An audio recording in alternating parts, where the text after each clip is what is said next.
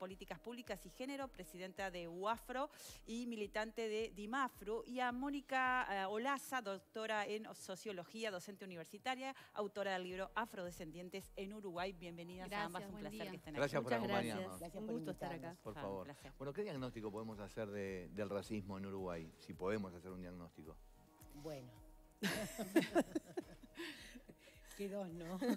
este, con Mónica hemos trabajado muchas veces juntas. A ver, diagnóstico.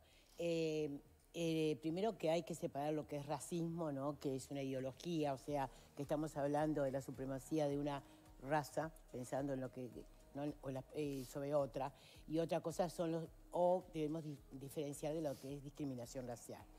Es evidente que cuando nosotros planteamos, este, bueno, nuestro país es racista, este, ¿a, qué, a, qué nos referimos?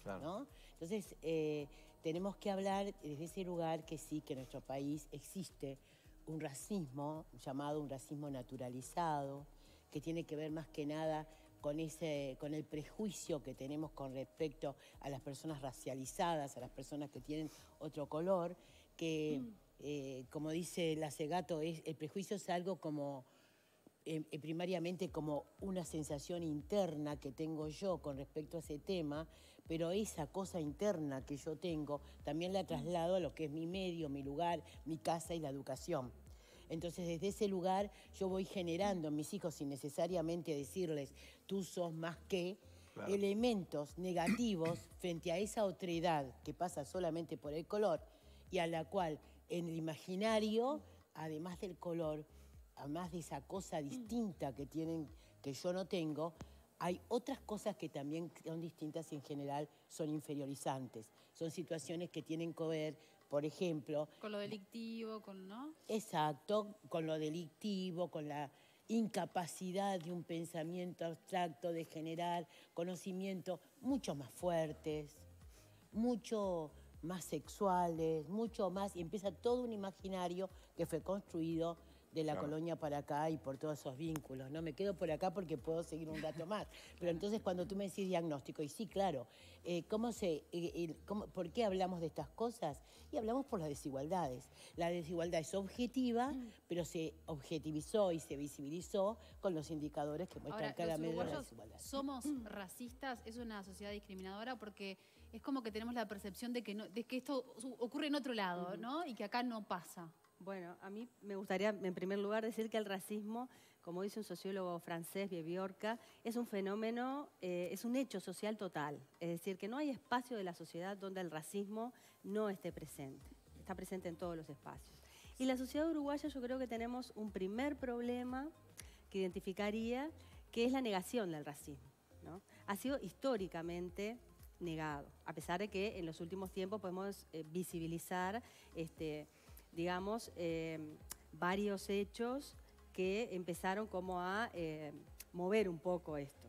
Pero de todas maneras yo creo que negado, en la sociedad...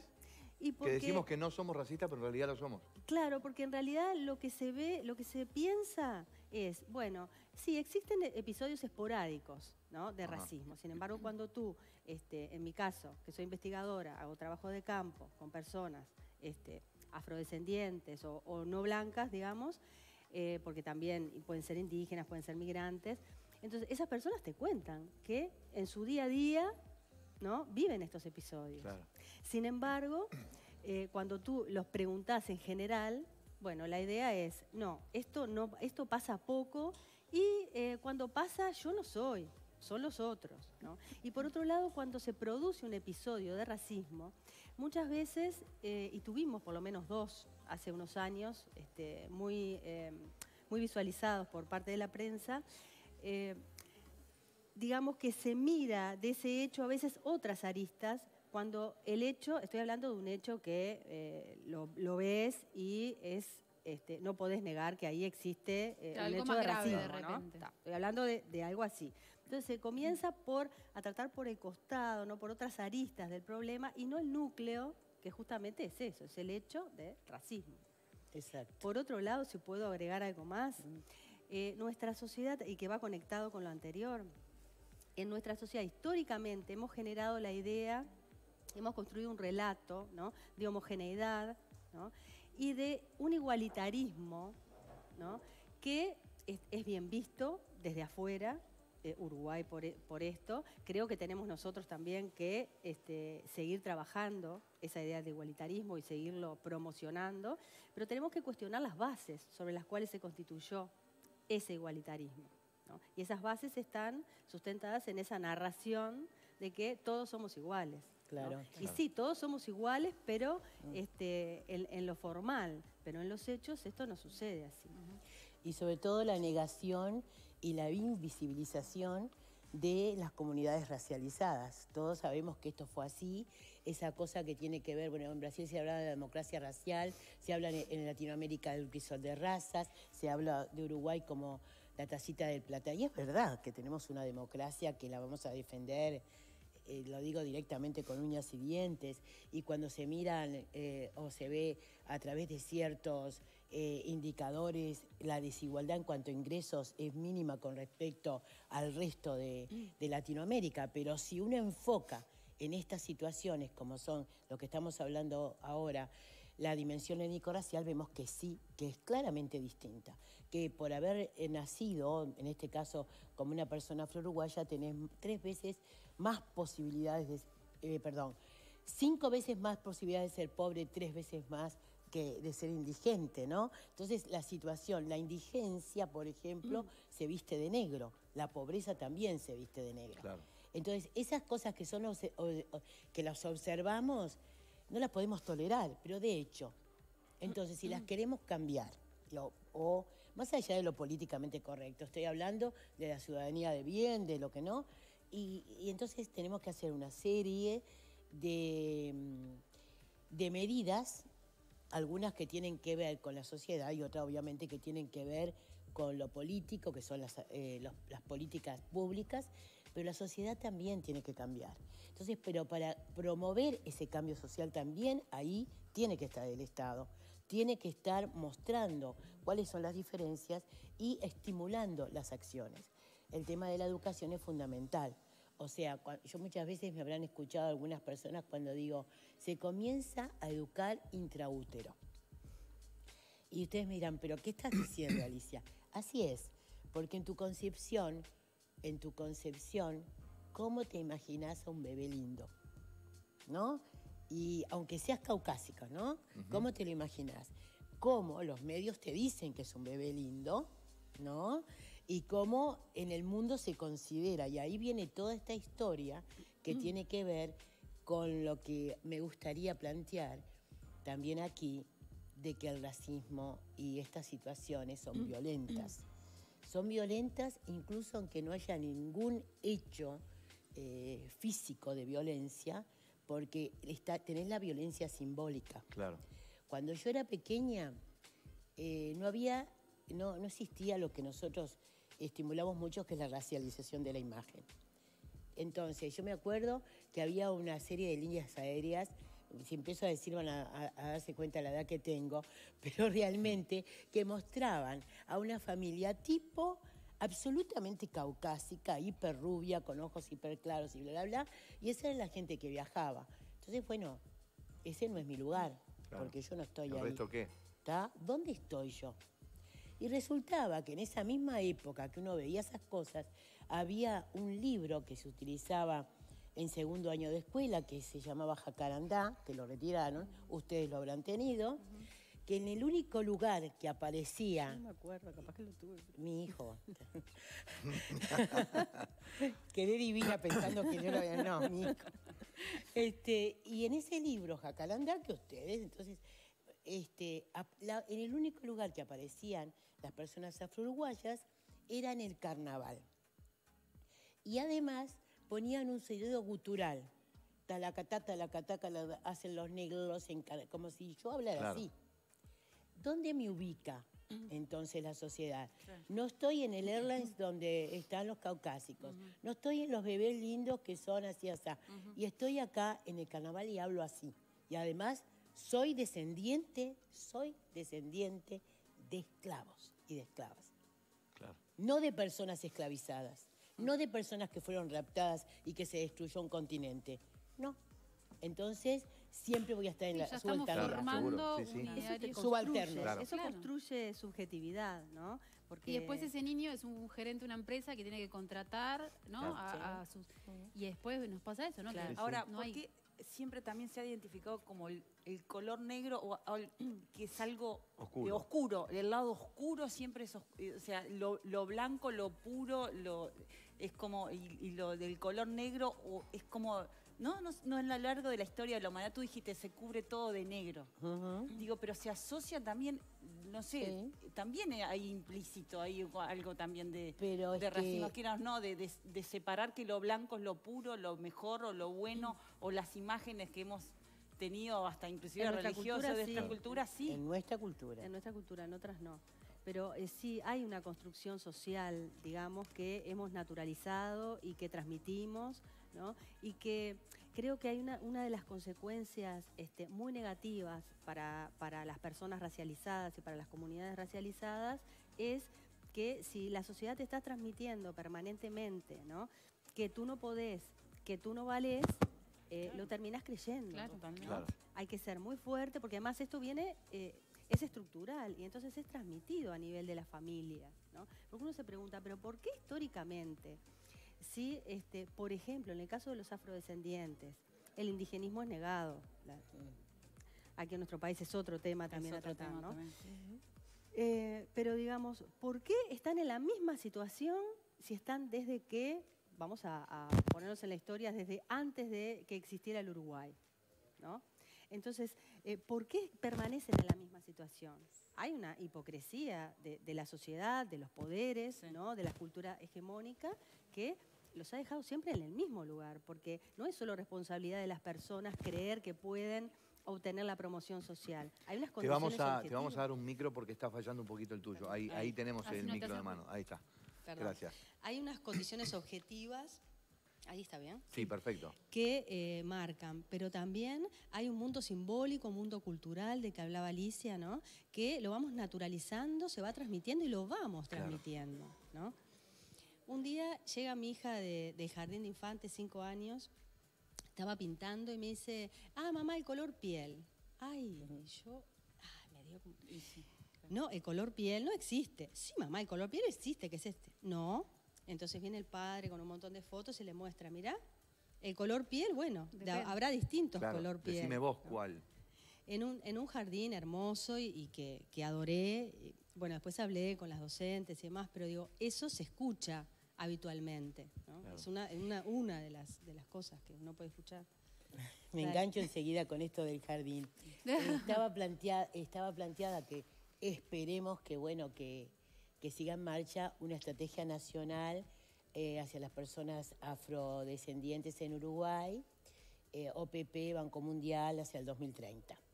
Entonces esta estrategia este, tuvo un periodo obviamente de estudio y análisis que se realizó fundamentalmente en el, el- o sea, en el 17 te- tuvieron los, re- el 17-18 los resultados. Mm, en este estudio que se hizo fundamentalmente en los departamentos que tienen fronterizos, ¿no? Eh, se hizo en Artigas, Rivera, también se hizo en Salto, Rocha y Cerro Largo, fundamentalmente que es la mayor densidad de la, de la población afro. Me engancho solamente en lo que ella acaba de decir, que tiene que ver con esto de la construcción de la discriminación racial, del racismo y del racismo naturalizado. Este, eh, los investigadores, y uy, todo un núcleo de, de an- antropólogos conocidos, plantean que se ha visto que a nivel docente había una menor exigencia hacia los niños afro porque se tenía la idea que en realidad no iban a necesitar altos niveles de exigencia porque en general Terrible. se quedaban en eh, trabajos no calificados. Y estamos hablando en Uruguay de 2017. No estamos hablando Uruguay de hace... sí, del sí, 40, ¿no? de Cien años 1940. Y, es- y ese tema, este, que obviamente a esta altura era como, obviamente no estoy diciendo que al 100% de los docentes, pero lo trae el estudio como que no era mínimo y banal. Eso aparecía claramente de lo que se pensaba en el imaginario de que esa persona iba a ser.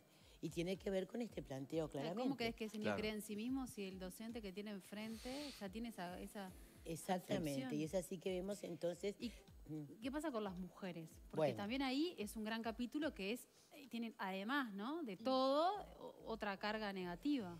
eh, eh, en realidad se potencia, es lo que se llama la- las intersecciones de las discriminaciones, ¿no? Es mucho más que una sumatoria. El tema de las mujeres afro en toda Latinoamérica, incluso en nuestro país, es una situación realmente de urgencia, yo te diría de emergencia. Eh, las políticas públicas realizadas en los últimos años han disminuido claramente la pobreza, porque esta población estaba cerca del 50%, está en un 17%, obviamente el doble que la población no afro. Pero entonces ha bajado en general la pobreza de toda la población y también de la población afro. Sin embargo, si tú miras al grupo de personas afropobres, disminuyó la pobreza de los hombres y aumentó la pobreza de las mujeres, de tal forma que la brecha entre mujeres pobres afro y hombres pobres afro aumentó. Las mujeres afro uruguayas son las más pobres entre los pobres. Y esa circunstancia está dada por una, una serie de situaciones que llevan a esta, a esta presión, pero entre otras, en la imposibilidad de salir de lo que nosotros decimos, en el caso de las mujeres af- afro, que es el piso de barro que te coloca en ese lugar y no te permite. Y no es el mismo que tienen la- las mujeres no afro, que tiene que ver con las tareas domiciliarias. la Se agrega eso el hecho del trabajo esclavo, que ahora es el trabajo doméstico, que se suma a todas las otras tareas que realmente tienen, la falta de cuidados, la falta de redes y la situación que por lo menos tienen los hombres de salida así hacia trabajos no calificados que después permiten, aunque sea con dificultad, empezar a subir la escalera. Las mujeres se quedan allí en la casa y lo que tienen de antecedentes, nosotros tenemos nuestro CV, ¿no? Presentamos qué fue lo que hicimos para tener un trabajo. Y antecedente, ¿cuál es mi antecedente? Mi mamá, que fue una buena trabajadora doméstica. O yo que trabajé en No tengo otra cosa, abandono tempranamente los estudios en general, y esto tiene mucho que ver entre otras cosas, con las carencias que nos da eh, sociales, en general tenemos un embarazo adolescente mayor que el resto de, de- la sociedad y ahí seguimos con una cadena que tiene que ver ser madre, jefa de familia, pobres en una red y teníamos además eh, una, mm, una esperanza de vida menor que el resto de la población con mujeres mayores que les cuesta realizar también eh, los cuidados que muchas veces tienen mujeres o varones, ¿no? Pero en general son las mujeres, las abuelas, ahí está. Este, y no tienen porque no, han estado eh, reconocidas, entonces no tienen, entonces hay un mayor porcentaje de personas que tienen pensiones a la vejez habiendo trabajado toda la vida.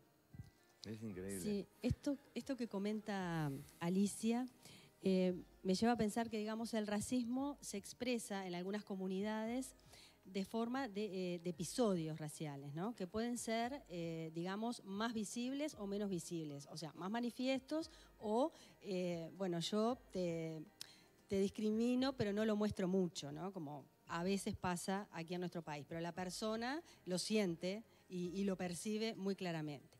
Pero además hay comunidades que padecen el racismo, y era, se engancha esto con lo que conversaba recién Alicia, eh, a través de inequidades y desigualdades. ¿no?